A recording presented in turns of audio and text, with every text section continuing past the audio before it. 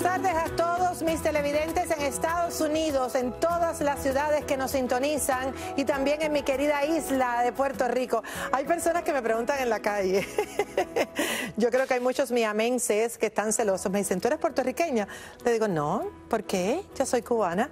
Y me dicen, es que siempre estás hablando en el programa de Puerto Rico. y es que la verdad es que a mí me gusta mucho esa isla. Yo soy isleña del Caribe, igual que los puertorriqueños. Y la verdad que yo agradezco muchísimo que los puertorriqueños me quieran tanto y me sintonicen todos los días a esta hora. Igual que usted, donde quiera que se encuentre. Además, ¿sabe dónde tenemos muchísimos televidentes? En El Salvador. Hay una señal por ahí que se roban no sé de dónde y nos pueden ver todos los días y me escriben y nos agradecen por todos los temas que aquí tratamos. Además, les doy las gracias a Miami especialmente porque los ratings, eh, que se llaman los numeritos que tenemos todos los días, aquí tengo a una de mis productoras contenta y feliz porque todos los días tenemos muchísima audiencia aquí en Miami. Igual, gracias Puerto Rico, gracias Nueva York, Los Ángeles, Houston, eh, la Florida, hay una parte que nos sintonizan también en Jacksonville, hay muchos lugares, Orlando, Texas, gracias, muchas gracias. Hoy tenemos un programa, fíjese bien lo que le voy a decir, espectacular pero porque vamos a tratar temas que usted le va a interesar o a alguien de su familia o a una amistad que quiera ayudar. Le explicamos en detalle sobre qué frutas y verduras contienen antioxidantes para protegerle de los rayos solares y los rayos ultravioletas. Está con nosotros una excelentísima especialista en dermatología y ya verán quién es. Así que quédese con nosotros y busque lápiz y papel.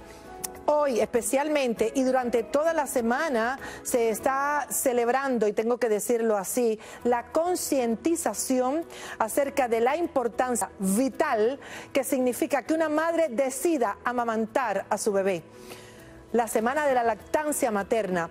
El doctor Alberto Domínguez Bali y una mamá que tiene a una niña de 7 años, Carmen, y a una bebé de 3 meses, Carol, nos va a explicar por qué ella decidió amamantar a su hija mayor hasta el año y el doctor Alberto Domínguez Vali va a decir que hasta los dos años y por qué. Así que quédese pegado, llame personas que acaban de ser madres o van a ser madres para que escuchen esta información que le vamos a dar, que va a marcar la diferencia en sus hijos.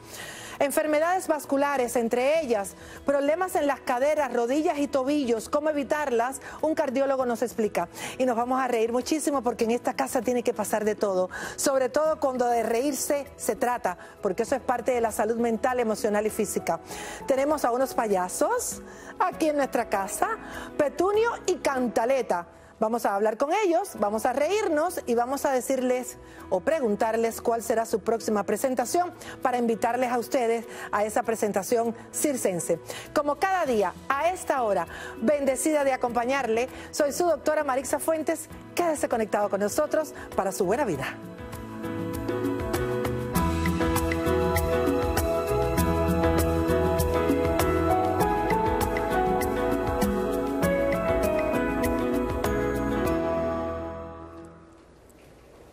Comenzamos, como es habitual, con las noticias que hemos elegido para usted en el día de hoy. Una investigación demostró que caminar aproximadamente, escuche esto que me encanta, 21 minutos al día puede reducir el riesgo de enfermedad en el corazón. El informe detalla que caminar reduce el riesgo de enfermedades, además aledañas, como la diabetes y el cáncer. Reduce la presión arterial y los niveles altos de colesterol malo. Mantiene la agudeza mental.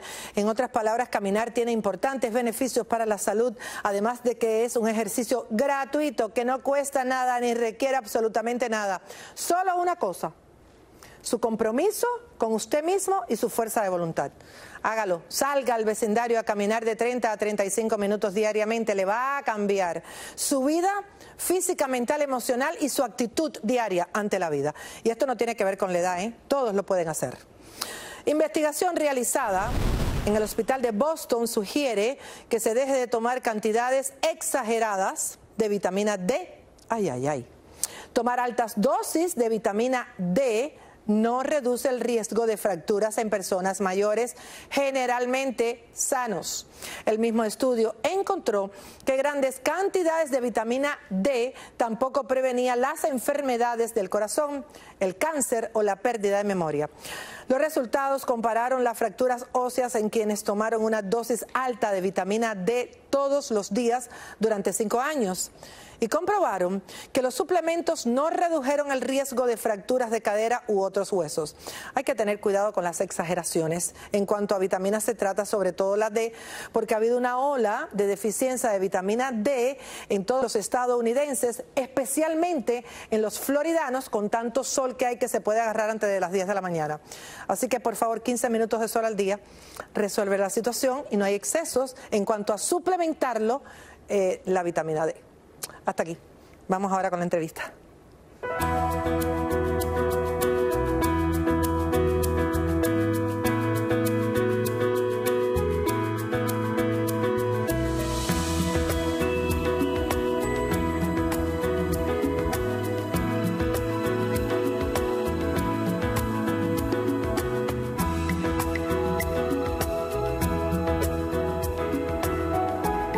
Nosotros siempre es aquí en esta casa, pues hablamos y mencionamos la importancia de los antioxidantes, que como su nombre lo indica y siempre lo repito para que usted se lo grabe, antioxidantes significa no permitir o prevenir que las células que componen todo nuestro cuerpo, nuestros órganos y sistemas no se oxiden porque si se oxidan van a suceder dos cosas. Se enferman las células, se enferman los órganos y sistemas y si no se enferman por lo menos envejecen.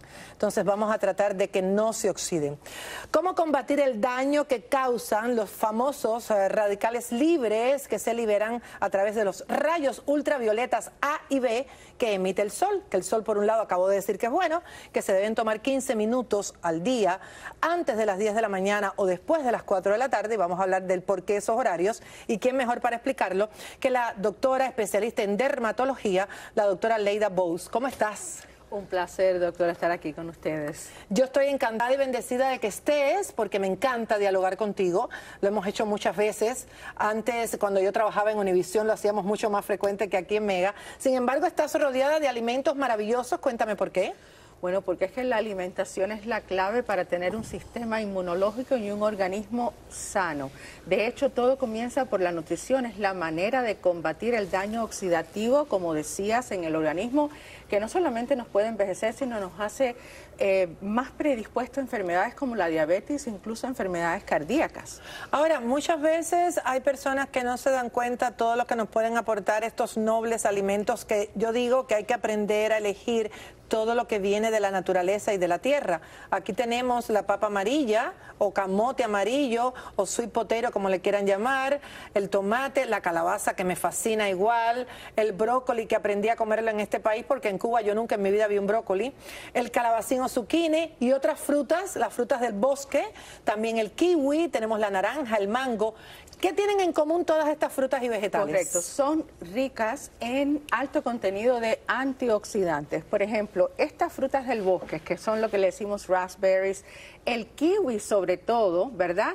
Súper, súper alto contenido eh, el kiwi, las fresas, la naranja en vitamina C, que es un potente antioxidante. También lo tiene el brócoli, que a veces no nos damos cuenta de que además de fibra y minerales, el brócoli tiene también vitamina C. Entonces esto es muy importante. Otra cosa, el tomate el tomate sí es considerado una fruta, aunque el sabor no es dulce como la mayoría de las frutas, pero el tomate quiero que sepan que tiene alto contenido de un antioxidante que se llama licopeno, que podría hasta incluso ser más potente que la vitamina C. Entonces, por eso es que decimos, cuando veas colores verde, rojo, naranja, amarillo, esa es la dieta que debes seguir. Ahora, eh, me encanta porque, eh, doctora Leida Bowes, tú como dermatóloga estás sugiriendo antioxidantes y sin embargo toda esta sugerencia de alimentos pueden ayudar a prevenir todo tipo de enfermedades que no permiten o previenen que la célula se enferme. Correcto, por eso es que es muy importante siempre tener una nutrición balanceada. Incluir, obviamente, necesitamos las proteínas, necesitamos los carbohidratos eh, complejos, ¿verdad? Para evitar la diabetes y demás, pero las frutas y los vegetales son esenciales para eso, no solamente como hablamos en la salud, pero para mantener la piel sana y joven. Hablemos de eso, de la piel sana y joven, que para eso no es compatible el estar expuesto largas horas, semanal, mensual y anualmente, a los rayos ultravioletas A y B. ¿Cuál es la diferencia entre estos rayos que emite el sol? Bueno, los rayos ultravioleta A y B, ambos pueden causar cáncer de la piel. Los rayos ultravioleta B causan más pigmentación pero ambos pueden realmente afectar el ADN de la célula y llegar a mutaciones que pueden causar el cáncer. Por eso es que el protector solar debe tener ingredientes físicos como el óxido de zinc o el dióxido de titanio, no otros, sino estos dos, que puedan bloquear 100% los rayos ultravioletas A y B también óxido de zinc. Vamos a repetir esos ingredientes para que nuestra audiencia vaya corriendo a leer la etiqueta de su bloqueador solar óxido de zinc y dióxido de titanio. Y dióxido de titanio. O sea, si no tienen estos elementos, estamos utilizando un bloqueador solar que realmente no nos está protegiendo. No solamente que no nos está protegiendo, es que no solamente son los protectores solares minerales que son más efectivos y seguros, sino que ya hay regulaciones en los Cayos de la Florida, en Hawái y otros distritos, otros condados donde prohíben que una persona se bañe en sus playas aplicándose un protector solar químico, o sea, con cualquier otro ingrediente que no sea esto, porque podría dañar los arrecifes de corales. Entonces yo me pregunto, si daña los arrecifes de, corales, ¿qué está haciendo la nuestra piel? Qué buena pregunta, doctora, me ha encantado eso. Eh, eh, es, algo un poquitito irónico. Sentido común, como digo yo siempre, sentido común. Y por último, el sol, yo siempre lo estoy repitiendo, pero te tengo aquí para que lo confirmes, se debe tomar para recibir las bondades del sol y la vitamina D antes de las 10 de la mañana y después de las 4 de la tarde. Es la hora ideal para tomarlo y sí se debemos tomar un poquitito de sol porque es muy importante para la vitamina D antes de las 10, después de las 4, 15 minutos y siempre tratar de aplicarnos una crema que ayude a proveer nuestra piel de todas las diferentes vitaminas y minerales. Aquí hay un número de diferentes productos. Eh, estábamos hablando de la alta concentración de vitaminas. Hay un dato que les quiero dar a los televidentes, es la vitamina C que deben buscar en los productos con antioxidantes no es el L-ascórbico, el ácido ascórbico esa decae, se inactiva muy fácilmente. Es una que se llama ascorbato de tetraexidexilo. Le hemos traído algunas muestras aquí para que puedan eh, ubicarse y saber, pero tienen que buscar siempre el ascorbato de tetraexidexilo. Es la vitamina C más avanzada la que va a penetrar más profundo sin irritar la piel también y va a darnos ese poder antioxidante y rejuvenecedor a la piel. Mucha información de la doctora Leida Bous, que me encanta que esté aquí.